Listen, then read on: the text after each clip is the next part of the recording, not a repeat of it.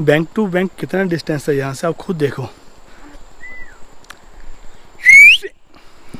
यहाँ से मैंने विसल किया और पार्स तेंदुल मिल गया और यहाँ से ट्रॉली चढ़ पड़ी।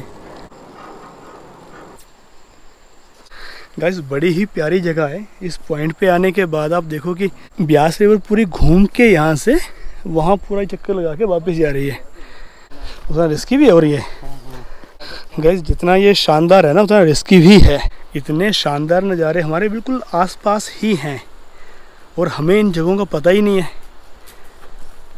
तो जो भी लोग बैजनाथ, पालमपुर के आसपास रहते हैं, जोगिंदर नगर, ये लड़ भड़ोल से हार्डली पंद्रह किलोमीटर की दूरी पर है ये। ये देखो, दूसरा उठन कटोला उनको लेने जा रहा है।